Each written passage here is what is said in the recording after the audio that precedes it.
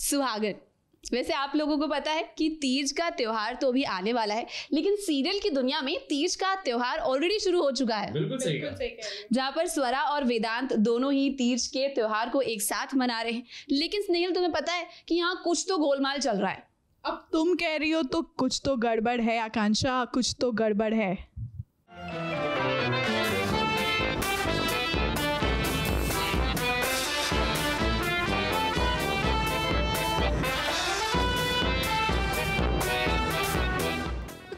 गोलमाल है भाई, सब गोलमाल है। अब क्या आप भी वही देख रहे हैं जो हमें दिखाई दे रहा है? क्योंकि देखने में तो ऐसा लग रहा है कि तीज के मौके पर घर के सभी मर्द अपनी धर्म पत्नी की मांग भर रहे हैं, जैसे कि वेदांत स्वरा की। लेकिन जैसे ही वेदांत के पापा कोमल की मांग भरने जाते हैं, अचानक से लाइट चली जाती है। अब अगर ये हेरा फेरी आपको समझ नहीं आई तो चलिए इसे एक बार फिर से देखते हैं रिवाइंड मोड पर। अब दरअसल हुआ यह है कि वेदांत के पापा ने कोमल की नहीं, बल्कि वेदांत की असली माँ प्रतिभा की मांग भरी है और ये सब कुछ स्वरा ने किया है। अब स्वरा को कोमल का सच पता चल गया है कि उसने किस तरह से वेदांत की असली माँ प्रतिभा का हक छीन लिया था और झूठ के सहारे इस घर में अपनी एक जगह बनाई थी। तीज का त्योहार एक सुहागन के लिए काफ़ी मायने रखता है और आज इस खास दिन पर स्वरा वेदांत की असली माँ को एक बार फिर से इस घर में लेकर आई है। बोलिए भगवान शंकर की जय। माता गौरी की जय। हर हर महादेव। हर एक सुहागन के लिए तीज का व्रत बहुत ही खास होता है। इस व्रत में सुहागन अपने पति की लंबी आयु के लिए निर्जला व्रत रखती है और उसे तीज इसलिए कहा जाता है क्योंकि ये महीने के तीसरे दिन पर मनाई जाती है। अगर इस व्रत को अच्छे मन से मनाया जाए तो पति की आयु तो बढ़ती ही है। साथ ही पति पत्नी का रिश्ता सात जन्मों तक अटूट हो जाता है। अब हमें यकीन है कि स्वरा जल्द ही कोमल का सच सबके सामने लेकर आएगी और वेदांत की असली माँ को उनका हक दिलाएगी। ABP news report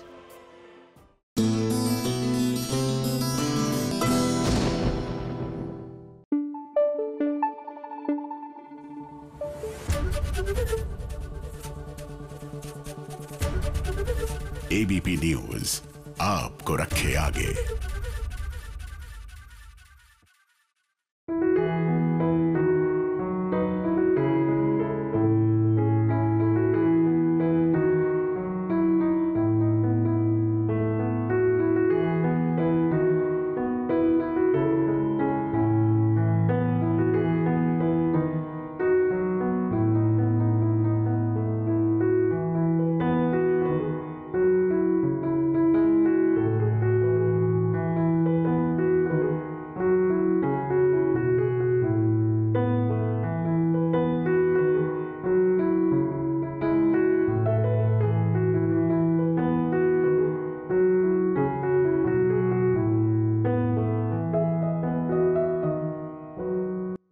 जब कोई बात बिगड़ जाए, जब कोई मुश्किल पड़ जाए, तुम देना साथ मेरा, ओ हमनवा शायद यही झनक अनिरुद्ध से कहना चाहती है, लेकिन वो कह नहीं सकती, क्योंकि आज झनक अपनी काबिलियत को भी दांव पर लगा चुकी है, क्योंकि झनक का डांस सभी को अच्छा लगा। यहाँ तक कि सिंगर कुमार सानू को भी बहुत पसंद आया, मगर डांसर ऑफ़ इंडिया के ग्रैंड फिनाले में झनक हार गई अर्शी से। इसमें लोगों ने कोशिश किया एक रियलिटी शो को क्रिएट करने के लिए। एंड डेफिनेटली बहुत अच्छी तरह से क्रिएट हुआ। जिस तरह से हम रियलिटी शोज़ में ओरिजिनल पार्टिसिपेंट को हम जिस तरह से मोटिवेट करते हैं, यहाँ पे भी उस तरह की हमने किया। But all it's act so आपको नेचुरल लगेगा एंड रियली लगेगा।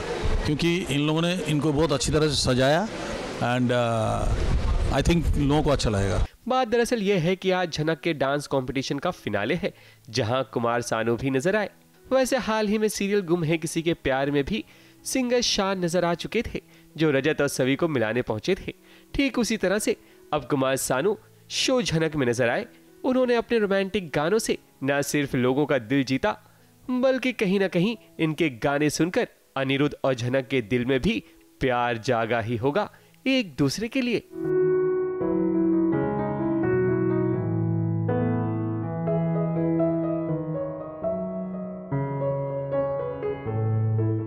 वहीं जब बारी आती है विनर का नाम अनाउंस करने की, तब अर्शी झनक को हरा देती है। ये देखकर न सिर्फ़ गुरुजी, बल्कि आदित्य कपूर को भी गुस्सा आता है कि भला झनक अपना बेस्ट डांस करते करते आखिर अचानक गलती कैसे कर बैठी। बेसिकली ये हुआ है मेरे साथ धोखा सबसे बड़ा जो कि झनक ने दिया है। एक्चुअली फिनाले चल रहा है और फिनाले में मुझे भी नहीं पता आ, कि वो हारने वाली है। कुछ उसका इंटरेक्शन हुआ होता है अनिरुद्ध के साथ में और वो जानबूझ के हारती है। तो एक तरीके से उसने अपने गुरुजी को डिच किया है। ऐसा वाला फील अभी चल रहा है। And uh, Kumar Sanu sir आए हुए हैं। और आज ऐसा लग रहा है कि बहुत अच्छा वाला कॉन्सर्ट हम uh, बैठ के देख रहे हैं। क्योंकि ज़्यादातर सीन्स उनके थे आज। सानू जी आए सेट पर उसका तो बड़ा मज़ा आया। सलमान शेख को भी आदित्य कपूर को भी। लेकिन जो झनक हार गई ना उसका बड़ा दुख हुआ है। एक्चुअली मैं कन्फ्यूज़ हूँ मैं गुस्सा भी हूँ मैं दुखी भी हूँ। मैं बहुत ज़्यादा गुस्सा भी हूँ झनक से। वैसे हम आगे की कहानी बताते हैं कि झनक को अर्शी ने हराया नहीं बल्कि झनक खुद हार गई, क्योंकि झनक की मुलाकात अनिरुद्ध से बैक स्टेज पर हुई थी, जहाँ दोनों के बीच कुछ बातें हुई। उसके बाद ही झनक ने यह फैसला लिया था कि वो अर्शिद से जीतेगी नहीं, बल्कि हार जाएगी। ABP news report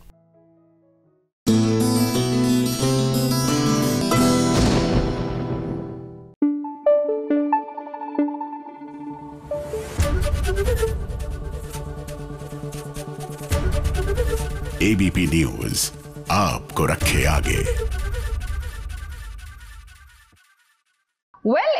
eight eight इस दिन के बारे में तो भैया इतनी चर्चा हुई, इतनी चर्चा हुई, पूछे नहीं। अब बात करते हैं ग्यारह ग्यारह की। नहीं बाबा, डेट की बात नहीं कर रही हूँ। ग्यारह ग्यारह जो जी फाइव पर कंटेंट आने वाला है, जिसमें राघव और कृतिका नज़र आएँगे।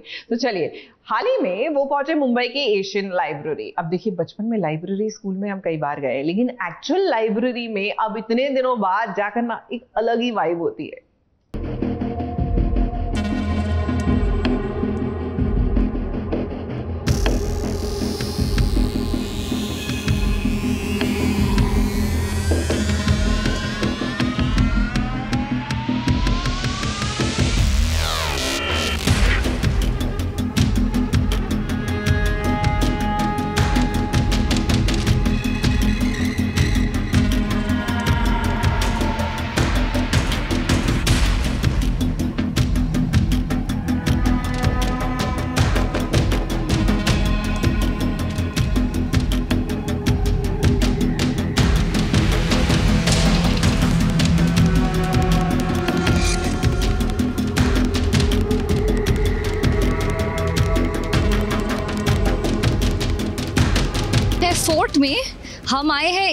बहुत ही आइकॉनिक लैंडमार्क पर बेसिकली हमारा शो 11-11 टाइम पर बेस्ड है और हमने इसे देहरादून में शूट किया है। देहरादून का एक मेजर लैंडमार्क है, वहाँ का क्लॉक टावर और हम आए हैं मुंबई के क्लॉक टावर पे। क्या करने? लेट पीपल नो कि हमारा एक शो आ रहा है ग्यारह ग्यारह जो आज लाइव है जी फाइव पे। यार ये जो सामने लाइब्रेरी की दीवारें हैं इसमें हम ऐसा खतरनाक ऐसा बेमिसाल ऐसा सुंदर प्रोजेक्शन करने वाले हैं अभी। आ, वो हमारे बहुत आप सबके लिए सरप्राइज़ रहेगा। आई I मीन mean, आपने आज तक नहीं देखा होगा ऐसा प्रोजेक्शन हम वो करने वाले हैं हमारी ग्यारह ग्यारह जो सीरीज़ है उसका।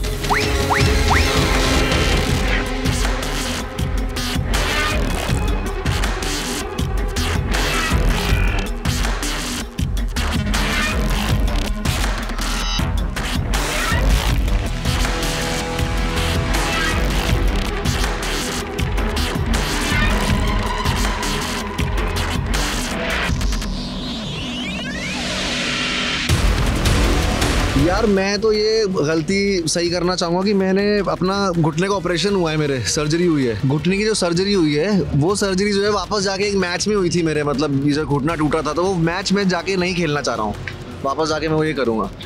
गुड वन गुड वन संभाल रहे हैं मैंने ना यार कई साल नाइन टू फाइव में खपा दिया था मैं पहले बॉम्बे आ सकता था। Too good I don't want to change anything मैं पास में लगे कुछ चेंज नहीं करूँगी क्योंकि इस एंगल से मैं बहुत अच्छी लगी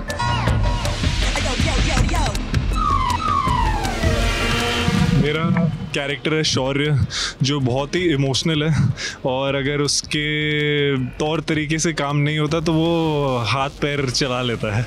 तो उसके सामने कोई भी आएगा तो वो बड़ा ही खूंखार हो जाता है। और मेरा जो कैरेक्टर है यार वो बहुत ही ज़्यादा दुखी और बहुत क्योंकि उसके साथ जो लाइफ में बीती है पास्ट में वो ट्रॉमाटाइज्ड है उससे। और उसको वो गिल्ट ड्रिवन है। गिल्ट में काम उसे लगता है हर चीज़ उसकी वजह से हुई है। और वो पुलिस में लेकिन पुलिस से भी सारा सवाल करता रहता है। बेसिकली ये है हमारे आ, पास्ट के हीरो प्रेजेंट के हीरो हमारे शो के। और 11 11 जब 11 11 जब बजते हैं तो ये दोनों कनेक्ट करते हैं और उस कनेक्शन के अलावा एक और चीज़ इनमें जो कॉमन है वो हूँ मैं।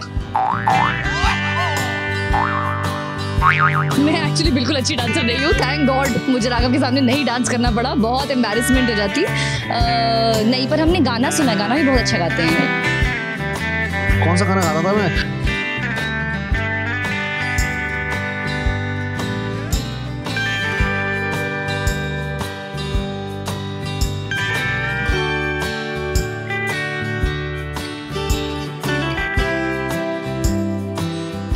Show you that we've lost Raghav?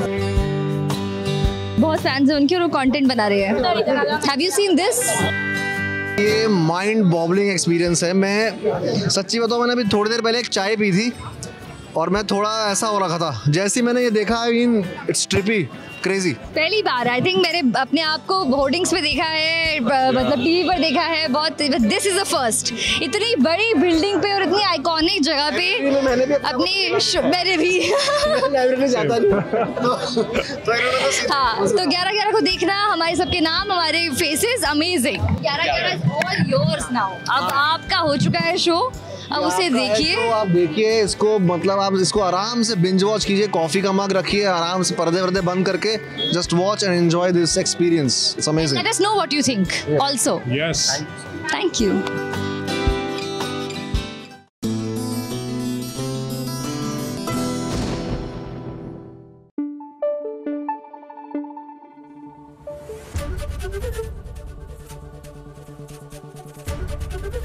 ABP news आपको रखे आगे।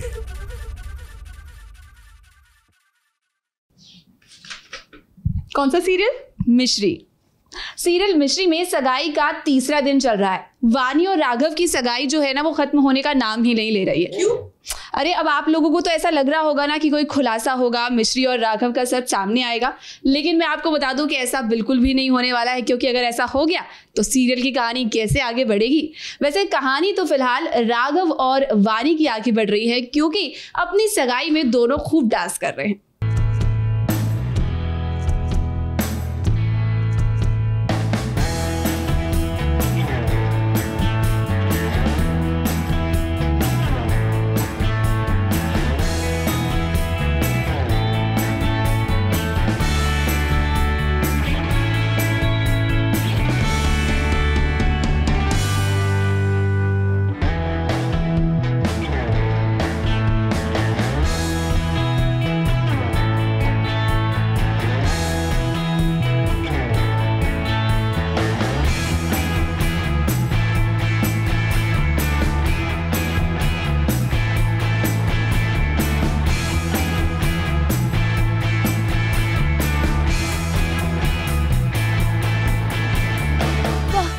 क्या नज़ारा है।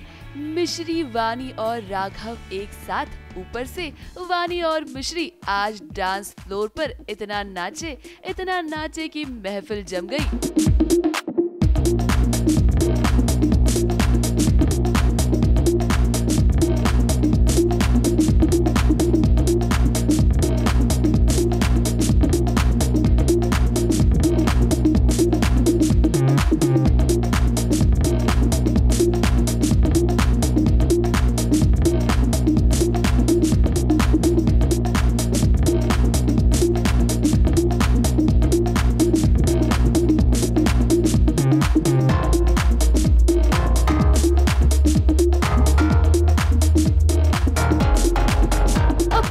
राघव और वानी की सगाई का है तो नाच गाना तो होगा ही। जहाँ वानी तो खुशी में नाच रही है, क्योंकि राघव की उससे शादी जो होने वाली है।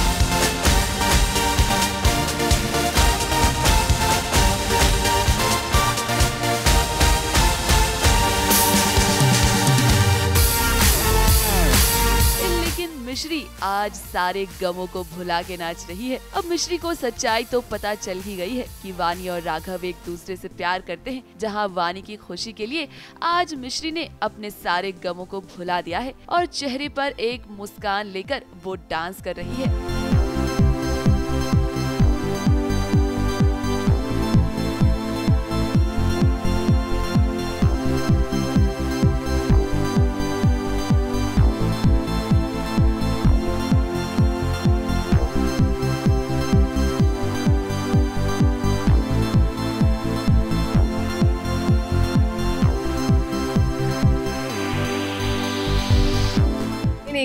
डिपेंड करता है कौन कौन गम में है। ये गम में नहीं, ये स्ट्रेस में है या जो भी टेंशन में है थोड़ा सा क्योंकि मिश्री यहाँ पे डांस कर रही है मिश्री ज़्यादा गम में है और लेकिन सबके खुशी के लिए वो खुश होकर डांस करी मैं जेनुइनली खुश हूँ तो मैं खुश होकर डांस कर एंड फैमिली भी बहुत खुश है तो फैमिली भी खुश होकर डांस कर रही है। मेरे माइंड में ये चल रहा है कि मिश्री की हिम्मत कैसे हुई लाइक मेरे घर में आने की और मेरी वाइफ की, होने वाली वाइफ की इतनी अच्छी दोस्त बनने की। तो मेरी नज़र में मिश्री गलत है और उसको यहाँ नहीं आना चाहिए। लाइफ में कहीं भी चली जाती तो सही था। वैसे अब मिश्री को राघव और वानी के बारे में पता चल गया है और ऐसे में वो उन दोनों के बीच में आने की कोशिश बिल्कुल भी नहीं करेगी। लेकिन मज़ा तो तब आएगा जब वानी के सामने पूरा सच आएगा, तब उसे लगेगा जोरों का झटका। ABP news report.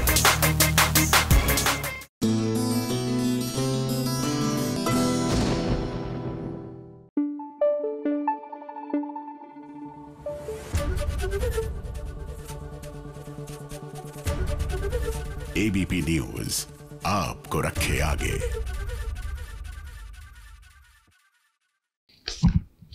कौन सा सीरियल है? मेरा बालम थानेदार। मीठी माई ने वीर को किडनैप कर लिया और उन्हें लगा कि बुलबुल जो है वो ढूंढ ही नहीं पाएगी। ऐसा हो ही नहीं सकता क्योंकि बुलबुल जो है छोटा पैकेट बड़ा धमाका है वो चुप तो नहीं बैठेगी। उसने कुछ ऐसा ही किया पूरा इन्वेस्टिगेशन किया और उसके बाद परिवार का जब साथ मिला तो वो कैसे नज़र आई? ये तो देखते ही बना। हाँ और बिल्कुल और अभी जो है मीठी माई का जो ट्रैक है वो खत्म होने वाला है क्योंकि उसके बाद ही शुरू होगा बुलबुल और वीर का रोमांस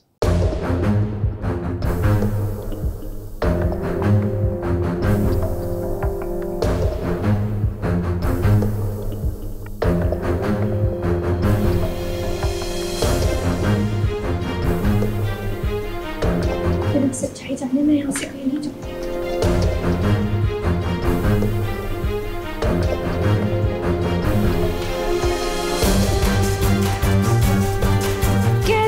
कि भगवान के घर में देर है, मगर अंधेर नहीं। और हमारी बुलबुल ने भी यही प्रण ले लिया है कि वो अपने रिश्ते में किसी भी बुरे साय को नहीं आने देगी। बोलने की कोशिश भी मेरे खुद पैदा बताइए कहाँ छुपा है? बोल बोल इतना विश्वास। बताइए कहाँ है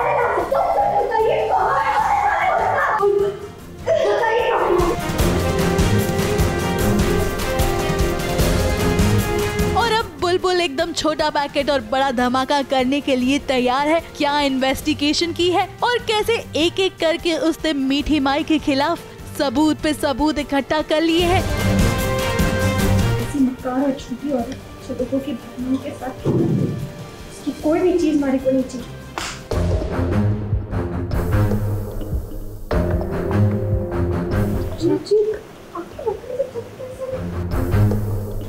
थानेदार से मुझे मेरे को ये एक मिनट। वीर भाई ने ये चिप इस लॉकेट में छुपाया? ताकि किसी को कुछ पता ही ना चल सके। अब अनजाने में ही सही उसके लॉकेट की वजह से उसे मदद मिल गई है और उसके हाथ लग गई है वो चिप जिसके बारे में शायद ही उसको अंदाज़ा था। अब इस चिप की डिटेल्स निकालने में घर वालों ने भी उसकी खूब मदद की और थोड़ी देर से ही सही मगर जल्द ही मीठी माई का पर्दाफाश होने वाला है। वो भी तब, जब बुलबुल के हाथ एक सबूत लग गया है। अब भगवान की कृपा तो देखिए, जब बुलबुल उनके दरबार में गई तो उसे एक और सबूत मिल गया।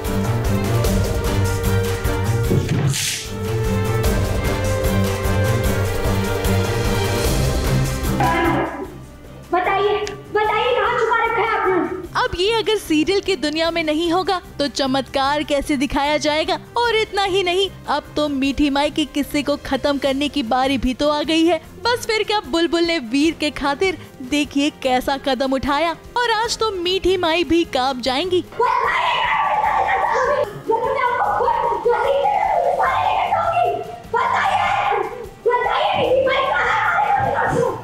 बस इंतज़ार है तो इस बात का कि कब बुलबुल पहुंचेगी अपने वीर के पास, वहाँ, जहाँ वो एकदम अकेला है, जहाँ उसे ये उम्मीद है कि उसकी बुलबुल ज़रूर आएगी।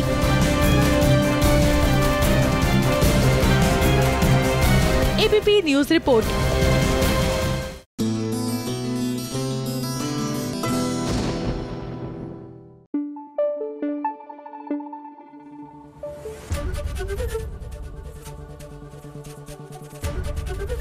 ABP news आपको रखे आगे। हम्म कौन सा सीरियल है? उड़ने की आशा।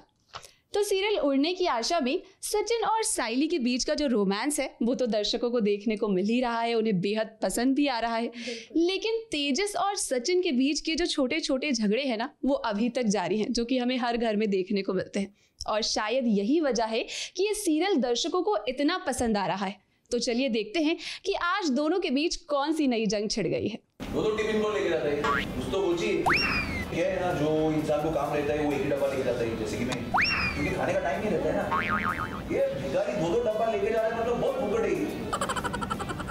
बाबा बाबा ये मेरे को अच्छा बोली। मेरे को प्यारा बोली। और मेरे को अपना बेटा बोली। मेरे लिए बस हो गया ये साल के लिए बस इतना। और नहीं, नहीं पाएगा मैं छोटे छोटे गाँव में ही नहीं बड़े बड़े शहरों में भी भाई भाई की तकरार देखने को मिलती है और यही चीज़ आज नज़र आ रही है। सचिन और तेजस में जहाँ सचिन तेजस को छेड़ रहा है यही चीज़ तो दर्शकों को बाँध कर रखती है क्योंकि सीरियल की कहानी में दर्शक खुद को जोड़ लेता है।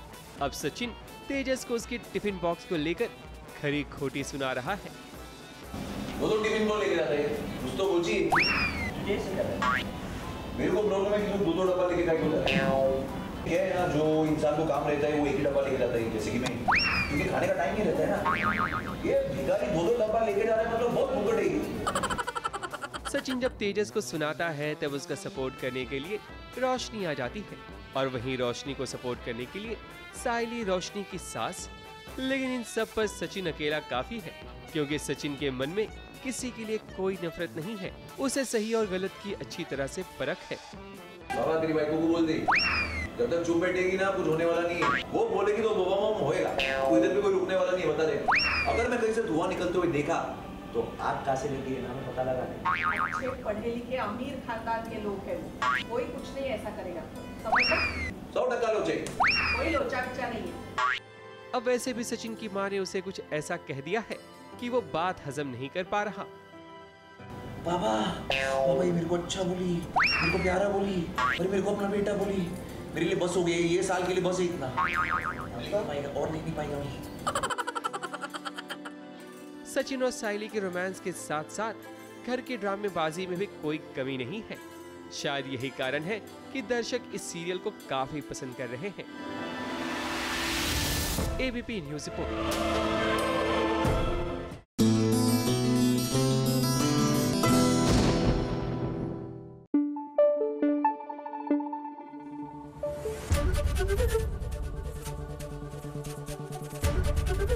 ABP news आपको रखे आगे। चलिए चिट उठाइए। ओके तो सबसे पहले मैं चीट उठाता हूँ। आ, मेरे हिस्से में आया है सीरियल गुम है किसी के प्यार में। तो मैं बता दूँ कि जैसे कि रजत और सभी की शादी होने वाली है। लेकिन जो इनकी तूतू मैं है ना अभी भी बंद होने का नाम नहीं ले रही है। अब क्या कर दिया इन्होंने? अब कुछ ऐसा हुआ है कि रजत चाहता है कि कोई एक ऐसी बात है जो सही को पता ना चले। और सभी चाहती है कि ठीक है नहीं बताना तो नहीं बताना लेकिन सभी को इस बात का गुस्सा है कि जो बात मुझे मना की गई थी वो खुद रजत ने सही को बता दिए। वो क्या बात है आइए जानते हैं। सही को कैसे इंसान इमोशन इंसान की चीज़ है कि नहीं है? तुम्हें मेरे बारे में जो सोचना है तुम सोचो मुझे फ़र्क नहीं पड़ता। मैं जज्बाती होकर अपनी बेटी की कसम बस। सब के सब इमोशनल बन मेरे दुश्मन का केस मज़बूत कर। और खास तौर से तुम। मतलब तो वही हुआ ना? सो मतलब क्या मुझे बोला कि किसी को नहीं बताना है और खुद ने सही को बता दिया कि हमारी शादी रही इस तरह करने का मत रहना कि शादी के बाद शादी की वजह से कुछ कुछ नहीं होने वाला। मेरा बस चलेगा तो आप इतने घमंडी और अतुल हुआ ना कि इसी इल्ज़ाम में मैं आपको पुलिस के हवाले कभी कभी मेरे दिल में ख्याल आता है कि क्या रजत और सभी बने हैं। लड़ाई झगड़े के लिए, क्योंकि इन दोनों की नोक झोंक बंद होने का नाम नहीं लेती। वैसे अब दोनों मियाँ बीवी बनने वाले हैं, लेकिन लगता है इनकी नादानी दोनों का साथ नहीं छोड़ेगी। मैं मेरे बारे में जो सोचना है, तुम सोचो, मुझे फ़र्क नहीं पड़ता। मैं जज्बाती होकर अपनी बेटी की कसम बस। सब के सब इमोशनल बनो मेरे दुश्मन का केस मज़बूत कर। और खास तौर से तुम। सही को यहाँ पर भाकर तुमने क्यों थोड़ी ये आइडिया आज आप मुझे परी मम्मा बोलने वाली हो क्योंकि मैं आपकी मम्मा बनने वाली हूँ। हाँ। तो आप खुश हो? हाँ। आप एक्साइटेड हो? हाँ। ओके अब से आप फिर मुझे क्या बुलाओगे? रोज परी मम्मा। ओके। बात दरअसल ये है कि रजत नहीं चाहता कि सई को पता चले कि वो और सवी की शादी होने वाली है। वरना कहीं ये बात सई ने अर्श और आशका को बता दिया तो वो किसी भी हद जा सकते हैं ताकि इनकी शादी रुक जाए। तभी तो रजत सभी पर भड़कता है, मगर जिसका डर था बेदर्दी, वही बात हो जाती है। मतलब ये कि रजत बाबू ने खुद ही सई को बता दिया कि वो उनकी परी आंटी से शादी करने वाले हैं। इसी का नतीजा है कि जब सभी सई को ढूंढ रही होती है, तब अचानक से सई मिलती है और वो पहली दफ़ा उसे मम्मी कहकर बुलाती है। ये सुनकर सभी इमोशनल तो हो जाती है, मगर बाद में सभी रजत की क्लास लेती है। यानी कि अब ऊँट आया पहाड़ के नीचे। नहीं बचा क्या है बोलना क्या बचा? सब तो बोल दिया आपने दिमाग खराब है तुम्हारा अक्ल नहीं है सही को यहाँ लाने की क्या ज़रूरत तो अगर मेरी गई ना तो तुम सोच भी नहीं सकते ये बोला था ना? मतलब तो वही हुआ ना। सो मतलब क्या? मुझे बोला कि किसी को नहीं बताना है और खुद ने सही को बता दिया कि हमारी शादी को तो इस घर में मत रहना? कि शादी के बाद शादी की वजह से कुछ कुछ नहीं होने वाला मेरा बस चलेगा तो आप इतने और हुआ ना कि इल्ज़ाम में मैं आपको पुलिस के हवाले कर नोक नोक झोंक इसलिए होती है क्योंकि वो मुझे मना करते हैं मैं तो बस इसे लेकर आई थी क्योंकि भाग्यश्री जी जो है वो बहुत सैड हो रही थी उनके चेहरे पर स्माइल लाने के लिए तो आ, वो मुझे गुस्सा करते हैं ये पकड़ना नहीं वो मुझे गुस्सा करते हैं कि ओए राम सारा दिन ऐसा करते हो आप मेरे साथ वो मुझे गुस्सा करते हैं कि क्यों बुलाया सही को अभी वो बता देगी आशका और अर्श को तो आ, मुझे गुस्सा चढ़ता है लेकिन फिर बाद में मुझे पता चलता है कि इन्होंने ही बता दिया सही को कि हाँ हमारी शादी हो रही है। तब मैं उन पर जो चढ़ती हूँ और उनको इतना गुस्सा करती हूँ ना कि ये क्या बात हुई? मुझे इतना डांटा और खुद ने बता दिया। मैं तो मैंने तो बताया भी नहीं था फिर भी मैंने इतनी डांट खा ली। जब रजत और सभी की शादी की बात सही को पता चल गई है तो इसका मतलब है कि सभी और रजत की शादी इतनी आसानी से तो होगी नहीं। उसमें ज़रूर अर्श कोई ना कोई चाल ज़रूर चलेगा। मुंबई से शिवानी सिंह के साथ ABP news report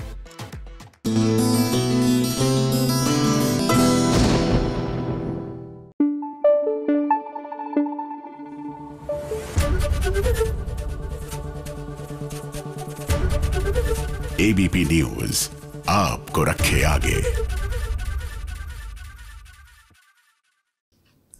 serial Parineeti. पता है आपको जिस तरह से सिचुएशन इस कहानी में चल रही है सीरियल के उसके हिसाब से मुझे सिर्फ़ एक गाना याद आ रहा है। कौन सा गाना? तू थोड़ी देर और ठहर जा। लेकिन लगता है स्नेहिल ये तुम्हारी नहीं बल्कि ये पार्वती की फीलिंग है। बिल्कुल सही कह रहे हैं वो चाहती है कि राजीव रुक जाए लेकिन वो उसे रोक नहीं पा रही है। क्योंकि वक्त अभी इजाज़त नहीं दे रहा है।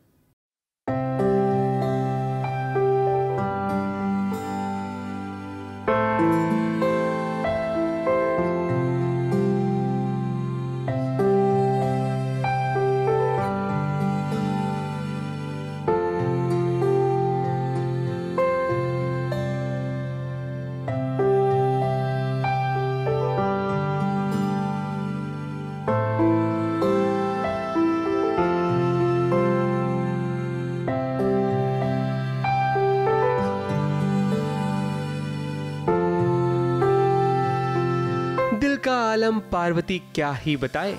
राजीव के चेहरे को देखकर पार्वती खुद को कंट्रोल नहीं कर पाती और कहते हैं, इंसान अपने चेहरे पर भले कोई और चेहरा लगा ले, लेकिन जज्बात पर काबू पाना आसान नहीं होता। वो किसी ना किसी तरह पानी की तरह छलक ही जाता है। जैसे कि आज पार्वती इमोशनल हो गई है अपने राजीव को देखकर।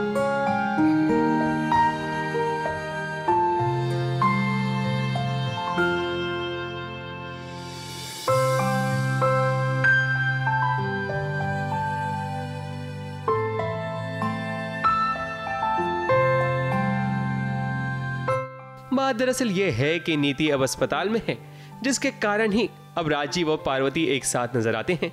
वैसे राजीव जब पार्वती के घर का दरवाज़ा नॉक करने जा रहा होता है तो उससे पहले ही पार्वती दरवाज़ा खोल देती है। लेकिन आई कांटेक्ट होने के बाद राजीव को जाना पड़ता है। हालाँकि पार्वती का मन रोकने का होता है कि राजीव कुछ देर के लिए रुक जाए ठहर जाए लेकिन ये मुमकिन नहीं हो पाता। मेरे लास्ट साइट तक इनको देख रही थी कि बस uh, जब तक ये मुझे दिख रहे हैं मैं तब तक उनको देखने की कोशिश रुक जाऊँ मैं रुक जाऊँ। कि रुक जाएँ अब ये पलट के मुझे देख देख लें आके बोल दे कि ओ माय गॉड ऐसा कुछ भी नहीं है सब चीज़ें सही है नॉर्मल है. कन्फेशन तुम्हें करना है मुझे नहीं। तुम्हें कन्फेस करना है कि तुम परी हो। तुम्हें रोकना है ना मुझे मैं तो रुक जाऊँगा तुम रोकने वाली तो बनो। है ना?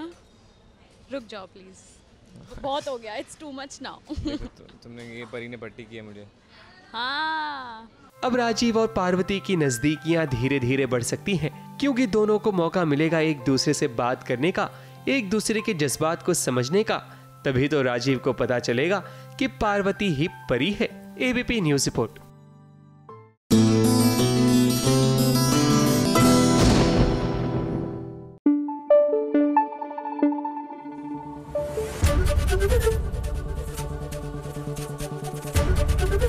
ABP news. आपको रखे आगे। फटाफट खबरों की रेलगाड़ी का अगला स्टेशन है सीरियल शिव शक्ति का सेट जहाँ शो में आपको बहुत जल्द मुंबा देवी और बाबुलनाथ की प्रेम कहानी देखने को मिलने वाली है और इसी के साथ जल्द ही इनका मिलन भी होने वाला है। मैं आपसे बहुत प्रेम करता हूँ। दीजिए मेरे प्रेम का उत्तर।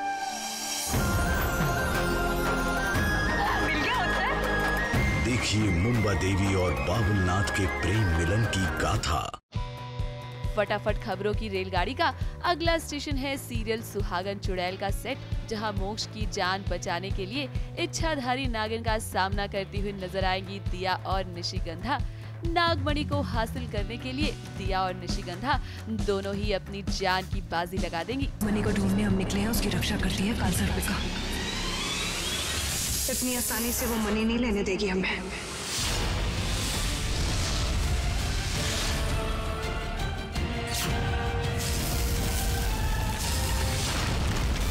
अपने प्यार को बचाने की लड़ाई में निशी और दिया में से कोई एक होगी कुर्बान।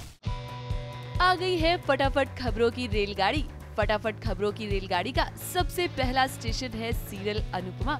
जहाँ मीनाक्षी और सागर के बीच बहुत जल्द ही प्यार की शुरुआत होने वाली है, क्योंकि सागर मीनाक्षी को पसंद करने लगा है।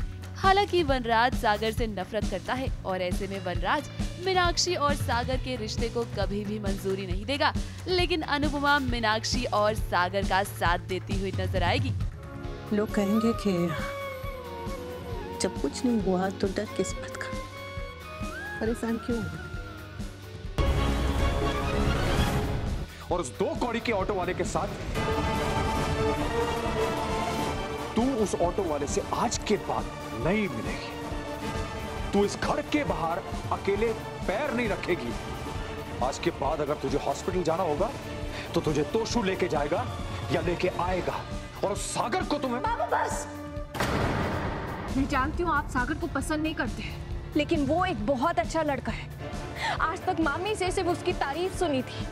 लेकिन इतने दिन उसके साथ रहने के बाद मुझे वो और भी अच्छा लगने लगा है। शायद शायद मुझे उससे प्यार हो गया। फटाफट खबरों की रेलगाड़ी का अगला स्टेशन है सीरियल मेघा बरसिंगे का सेट, जहाँ मनोज मेघा को अपनी मीठी मीठी बातों में फंसा लेगा और मेघा को लगने लगेगा कि मनोज उससे प्यार करता है, लेकिन उसे इस बात की भनक तक नहीं है कि उसे कितना बड़ा धोखा मिलने वाला है। तुसी ता ऐसा करो कि सीबीआई ते आर्मी ना जिसकी मदद लेनी है ले लो और करा लो जी इंक्वायरियाँ हम भी बाद में ही सोचेंगे कि ये रिश्ता करना भी है कि नहीं। मेरी बात सुनो मम्मा। बेगा का मेरी ज़िंदगी में आना बहुत ज़रूरी है।